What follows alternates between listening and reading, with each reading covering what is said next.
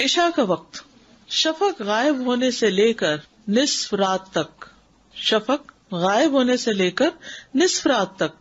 साहबा रज़ी अल्लाह अनहुम इशा की नमाज़ शफक गायब होने के बाद रात की पहली तिहाई तक पढ़ लेते थे, यानी दस बजे तक। पाँच बजे अगर सूरज गुरूब हो तो पहली तिहाई कब हो जाएगी? दस बजे तक। दूसरी फिर दो बजे तक। और इशा की नमाज़ का वक्त रात के पहले निस्फ तक है। ये सही मुस्लिम की रिवायत है। अव्वल वक्त जहना कबीला के एक आदमी से रिवायत है, वो कहता है, मैंने रसूल अल्लाह सल्लल्लाहु अलैहि वसल्लम से सवाल किया कि मैं इशा की नमाज़ कब पढ़ूं? आपने फरमाया, नमाज़ इशा उस वक्त अदा कर, जब रात पूरी वादी के पेट को भर दे, यानी जब पूरी वादी पे अंधेरा छा जाए। आखिरी वक्त, और जब तुम इशा पढ़ो तो आधी रात होने तक उसका वक्त है। फ़िदा सल्लई तुम इशा फ़िन वक्त निलानिसफिल अब सही मुस्लिम की रिवायत में, इस रिवायत में, जिसमें हदीस का नंबर चौदह सौ उन्नीस है, निसफिल अवसत आता है, और दूसरी में, इला निसफिल आता है। इशा को कभी जल्दी पढ़ना और कभी मौखर करके पढ़ना।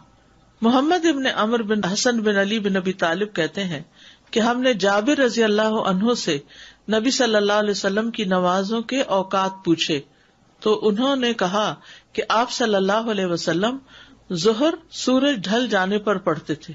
कब पढ़ते थे जोहर? सूरज ढल जाने पर। और असर उस वक्त अदा करते थे जबकि सूरज ज़िंदा होता था। यानी उसमें चमक और तपिश बाकी होती थी। और मगरब उस वक्त पढ़ते जब सूरज गुरूब हो जाता था। और इशा में जब लोग पहले जमा हो जाते तो जल्दी करते और जब कम होते तो ताखीर कर लेते। इशा में जब लोग पहले जमा होते तो जल्दी पढ़ लेते और जब कम होते तो जरा इंतज़ार कर लेते। इशा में ताखीर पसंदीदा है। रसूलुल्लाह सल्लल्लाहु अलैहि वसल्लम नमाज़ इशा को देर से पढ़ा करते थे। सुना नसाई की रवायत है। एक और रिवायत में आता है, आपने फरमाया, अगर ये खतरा न होता कि मैं अपनी उम्मत को मशक्कत में डाल दूँगा तो मैं इन्हें इशा की नमाज़ मुखर करने का हुक्म देता, कि देर से पढ़ लें। अनस बिन मालिक से रिवायत है। उन्होंने कहा, नबी सल्लल्लाहु अलैहि वसल्लम ने इशा में एक मरतबा निसफ रात तक ताखीर फरमाई। फिर उसे अदा किया और फरमाया, लोगों ने नमाज़ पढ़ ली और सो गए, लेकिन तुम लोग जब तक नमाज़ का इंतज़ार करते रहे हो, नमाज़ ही में रहे हो। यानी इतना अजर मिला है तुम्हें। लेकिन एक मरतबा पढ़ाई बार बार ऐसा नहीं था क्योंकि आपको मालूम था कि लोगों पर ये मुश्किल है। जो काम पर जाते उन्हें सुबह उठना होता है नींद नहीं पूरी होती। अबू मूसा से रिवायत है, उन्होंने फरमाया, मैं और मेरे वो साथी जो मेरे साथ कश्ती में आए थे, किसी दूसरे इलाके से, वादी बुधान में पड़ाव किए हुए थे।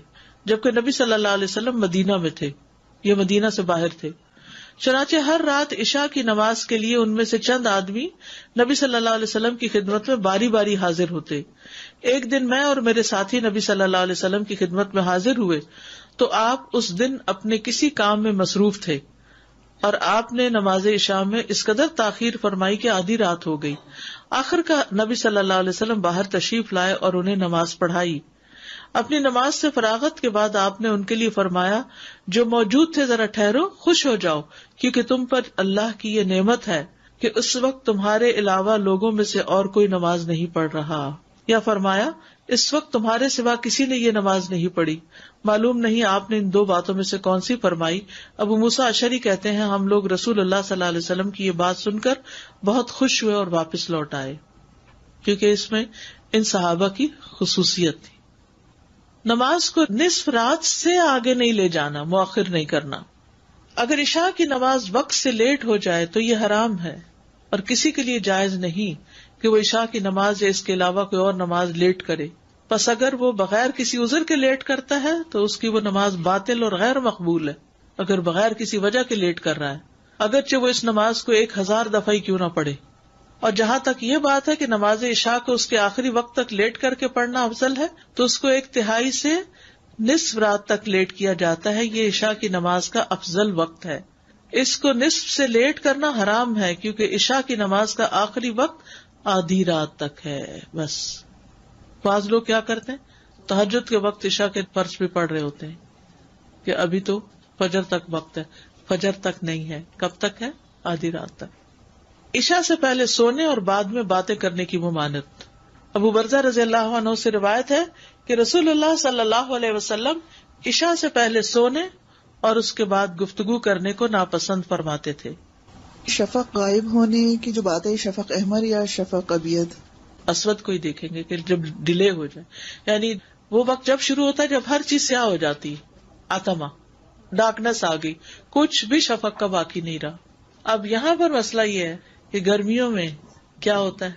रोशनी जाके नहीं देती, अंधेरा होता ही नहीं, क्योंकि ईशा की नमाज़ अंधेरे की नमाज़ है। तो अब उसमें मजबूरी है। कुछ जगहों पर तो इससे भी ज़्यादा रोशनी रहती है। और आगे नॉर्थ की तरफ़ चले जाए तो। तो वो तो फिर एक्सेप्शनल सूरत है। अदरवाइज़ जो हुक्म है, आमतौर पर जैसे सऊदी अरब के अंदर या मिडिल ईस्ट के अंदर तो अंधेरे का ही वो किया जाएगा।